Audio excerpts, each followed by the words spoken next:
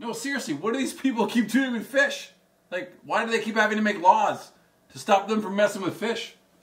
What does suspicious circumstances even mean, anyways?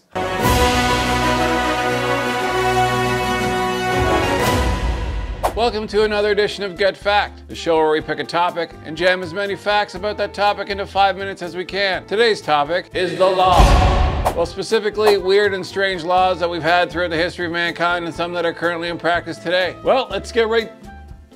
What? Oh, yeah. Uh, also, don't forget to count how many times Francis the Fact Ferret shows up, because that doesn't matter at all. Piece of shit ferret. Here are some of the most bizarre and strange laws from ancient times. Let's start in medieval England. At one point, there was a decree against wearing dead herring as clothing, as if the British need something else to make them less attractive. Also from medieval England, something called the scold's bridle, a form of punishment for women considered to be too outspoken or nagging. Well, maybe she wouldn't have to nag if you weren't wearing dead fish as clothes. In ancient Rome, fathers had the right to sell their children into slavery not just once, but twice. However, three times was illegal. I mean, to be fair, if two different buyers returned the same item unsatisfied, you probably shouldn't be able to sell it a third time. Also in ancient Italy, at one point, it was a legal requirement to smile at all times, except during funerals or hospital visits. Maybe stop selling your children into slavery, and the, they, they would frown less. What? You're not a slave. You're a fictional ferret. Get out of here. During the Byzantine Empire, Emperor Justinian declared that orphans were not allowed to be taught how to read using beans. You know, I've been thinking about this for a few days now, and for the life of me, I cannot imagine how you would teach someone how to read using beans. Draw the letters with beans, or did, did the different beans have different words? Well, I think Llama do myself a fava on this one and give up soon.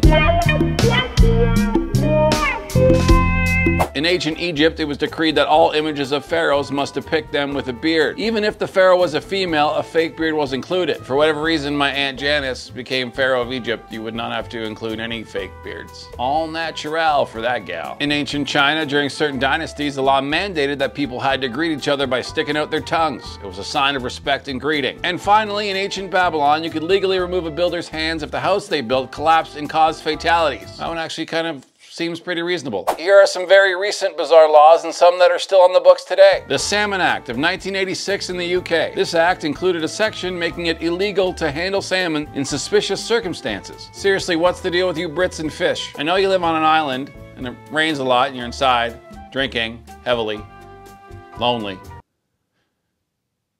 All right, I get it. In Switzerland, it's currently illegal to flush the toilet after 10 p.m. in apartment buildings as it's considered noise pollution. Wouldn't not flushing just be air pollution? Ah, don't worry about it though. I hear their flag's a big plus.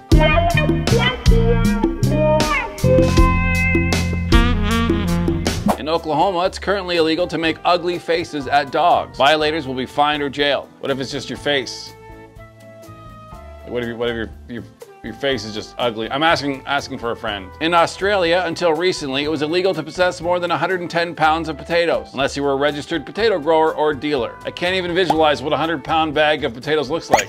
No, just look in the mirror. Yeah, f you, Francis. In Kentucky, a law requires every citizen to take a bath at least once a year. Nothing says our state rocks like legally mandated hygiene. In some parts of Switzerland, it's currently illegal to hike naked. Nothing says I'm one with nature more than picking burrs out of your furry bits. And finally, in the small town of Tuz in Poland, Winnie the Pooh is banned at public playgrounds because of his lack of pants and unclear gender. I'm not really sure how much the gender of a fictional bear matters, but pants do. Pants matter at a playground. Trust me. And now a list of things that aren't against the law that should be. Children's beauty pageants, music volume on Netflix shows, people who FaceTime in public, uncancelable phone and gym contracts, prescription drug ads, not giving the merge thank you wave, subscription software, nutrition labels that aren't for the entire container of food, lobbying, leaving pee on a toilet seat, salaries not listed in job descriptions, standing too close to people, NDAs, clipping puppy ears and tails, really bright headlights, and ferrets. Well, that's all the Getting Fact for this week. Please comment what topic you want us to cover next time. And don't forget to subscribe. As you can see, we need the help. That is all.